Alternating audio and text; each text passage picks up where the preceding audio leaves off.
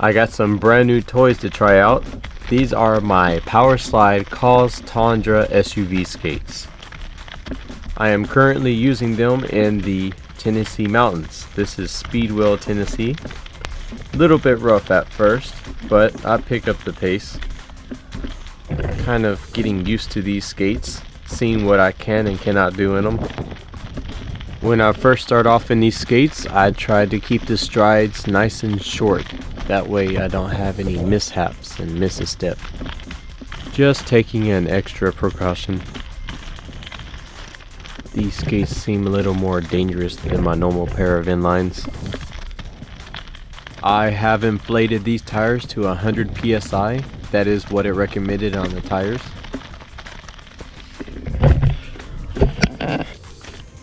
I started off with these skates they're a little sketchy at first until you can get the hang of them. But once you get the hang of them and you gain the confidence, there are no limits to what you can do. Going uphill right now.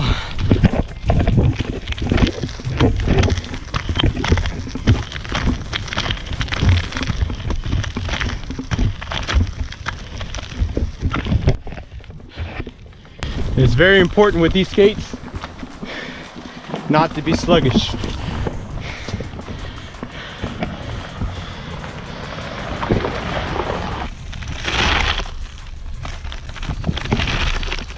Skating uphill. It's hard enough to skate uphill in my regular pair of skates. I can't imagine these. Now skating downhill.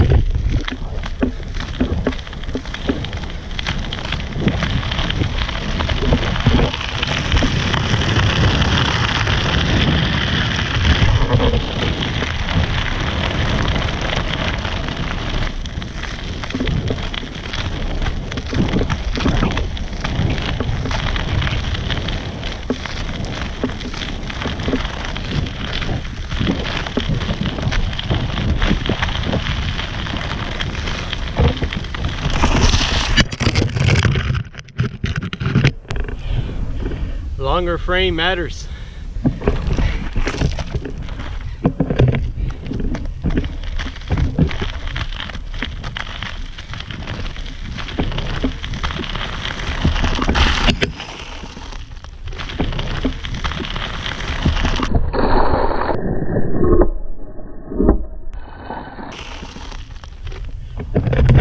little harder to skate in the longer frame. Here's one reason why whenever you do a one foot paddle, you have to make sure that you don't clip the back of your skate like this.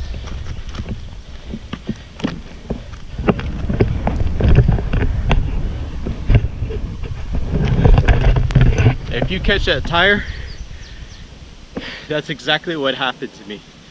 I went flying forward. you're pretty much putting on your own brakes. So here's the rest of the downhill. So on this old rocky road of Speedwell, Tennessee, you're gonna find patches of gravel. Some spots you can row that are a little bit smoother than others.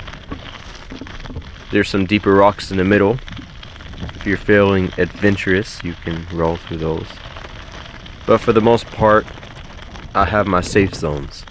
So I know where to roll. Here's the slower pace. And here's the faster pace.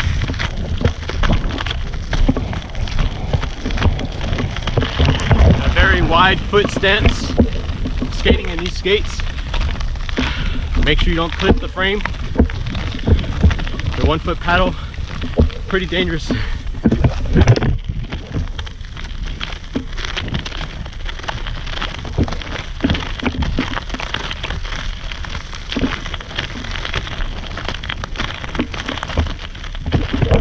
Skating in these skates with gravel is pretty sketchy.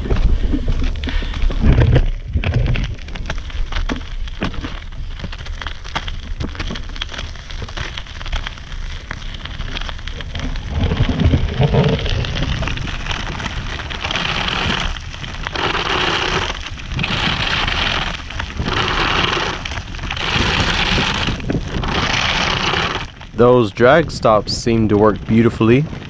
I seem to be pretty comfortable in those.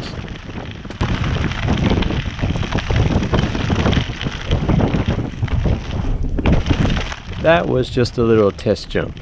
I just wanted to make sure I could land it. This is a very rough area of the mountain. So these skates make it manageable, but it's still a little sketchy, a little harder to skate in, especially if you're going uphill. It can be a real drag. So skating downhill is preferable, but not too steep of an incline when you're dealing with a lot of rocks such as this.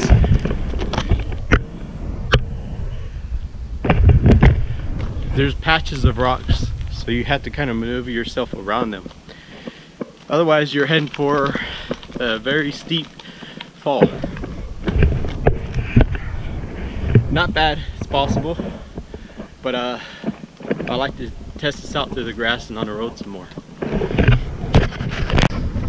Here's a hill. Let's try it.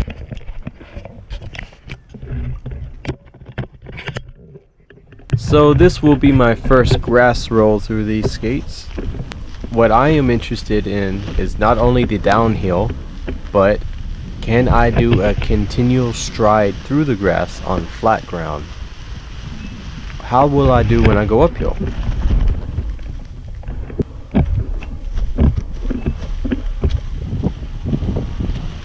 So far they seem to be rolling pretty well.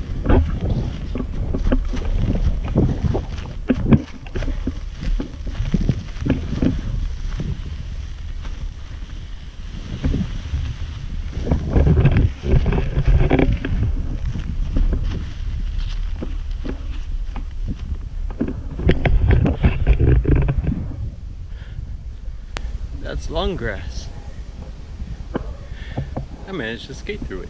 A little bit downhill, but it's possible. Yep, nothing like rolling through some soft grass on a nice day.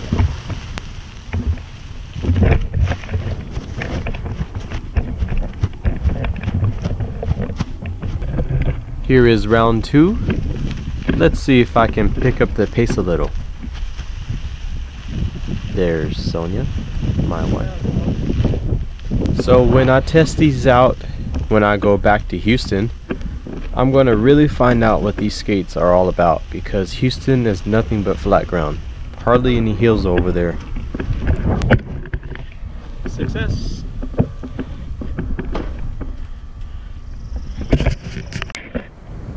So far on these skates, the tires are wider than the off-road skates that I was using before, which is the Powerslide Imperial, but the frame is longer. I feel like if they come out with a design with wider wheels rather than taller wheels, it might be more effective. So I would like to see Imperial skates with wider wheels and not so narrow or Kaze skates that have a shorter frame rather than such a long frame that is so bulky and hard to do strides with. So that's my opinion on the skates.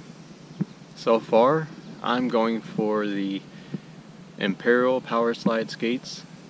Right now, these are my favorite off-road skates. They're more maneuverable, even though they might not be able to roll over objects as big as the Kaze Tundras. They are still maneuverable to the point to where if there is something I can't roll over, I can just simply run and keep rolling. With these skates, I keep hitting the frames together. And that could be a cause for disaster. My honest opinion. Thank you, Powerslide. I'm going to use this stretch of rope to do some power slides in these skates. So let's see how that turns out.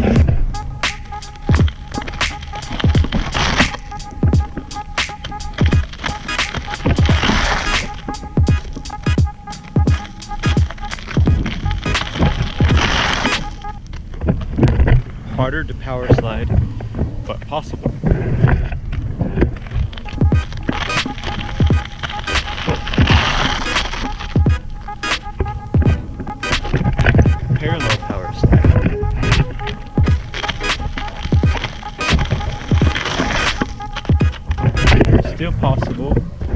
Not as easy.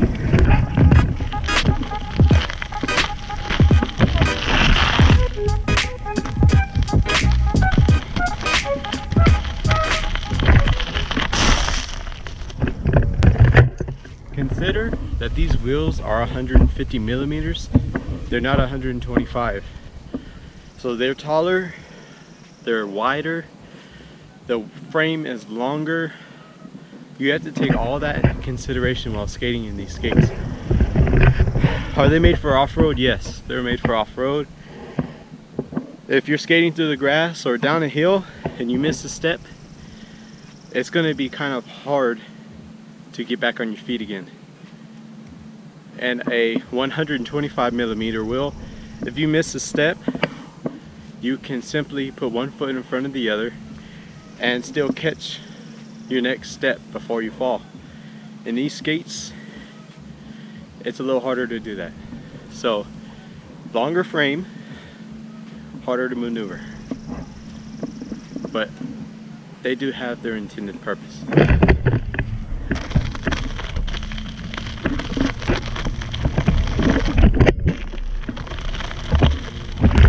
Still jumping them.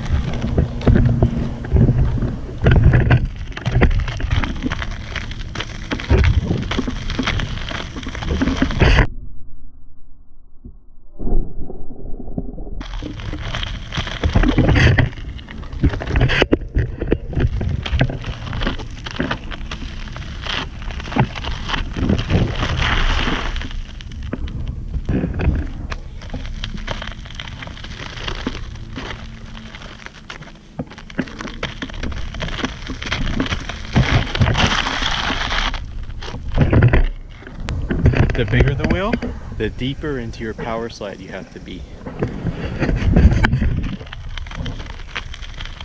Now you may think that this is the biggest wheel that I've ever skated in. Well, that would be false. These Tundras only go up to 150 millimeters. Now if you recall, I have a pair of Landrollers. The wheel is so big that it has to be tilted at an angle so it can go underneath your feet. That wheel's 180.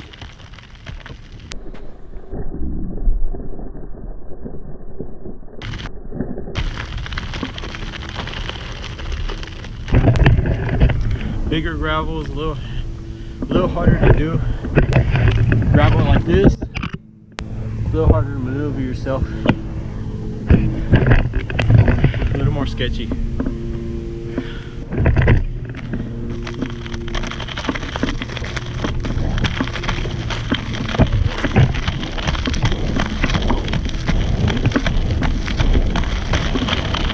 Finally, I got some speed in these skates. Which is still not an easy thing to do.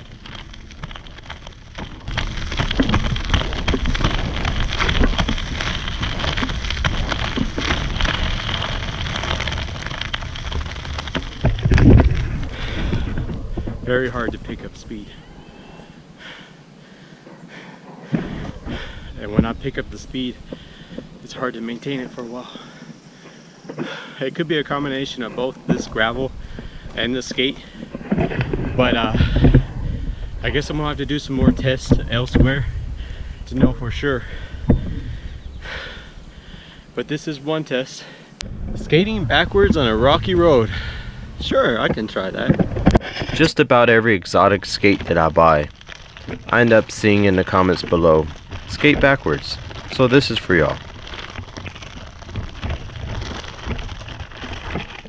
Let me try some transitions from front to back, back to front.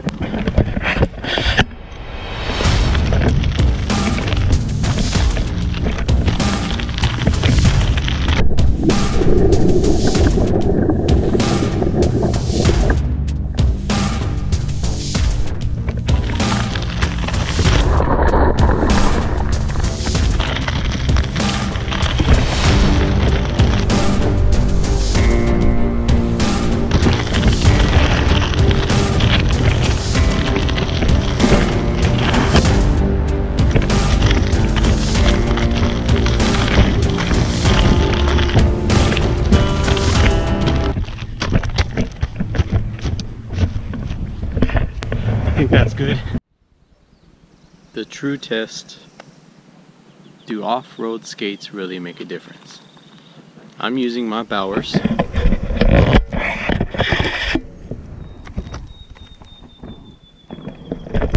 The same skates I put through a lot. Let's see if I could skate on the same gravel road.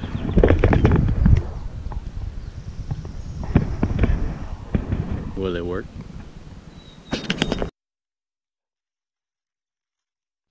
Alright, so I did have a recorded vlog for this video, but for some reason, the sound did not record. So, despite the error of the GoPro 5, I'm going to have to narrate over this part. Let's put a little bit of music. At least that way it won't sound so quiet.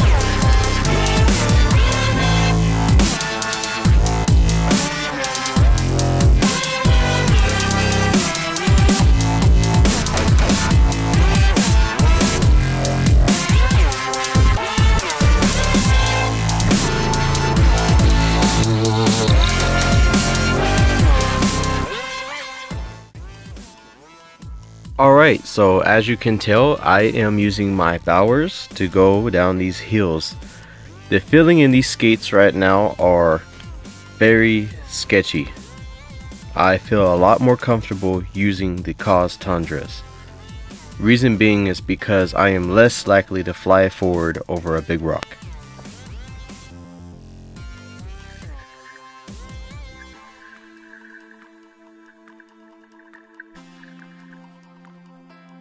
Now, let's go up this hill.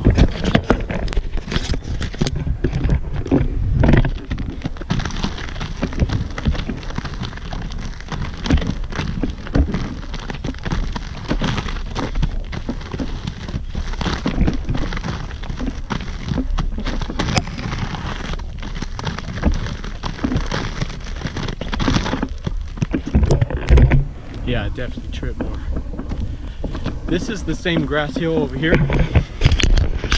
that I rode earlier. Let's try rolling down this grass hill. remember before I did it in my Kaze Tundras. Let's give it a go.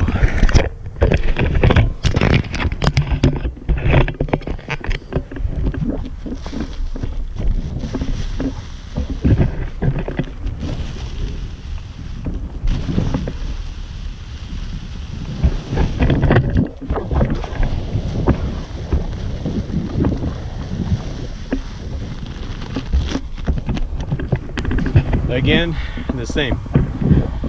It's possible to roll, but with the tires I roll faster. So, all in all, you have tires, they're they're better for off-road skates. You have urethane wheels, they're better for the concrete. So do off-road skates make a difference? Yes, they do. There is your full review thank you for watching and uh, stay tuned for more videos on the Kaze Tundra off-road skates.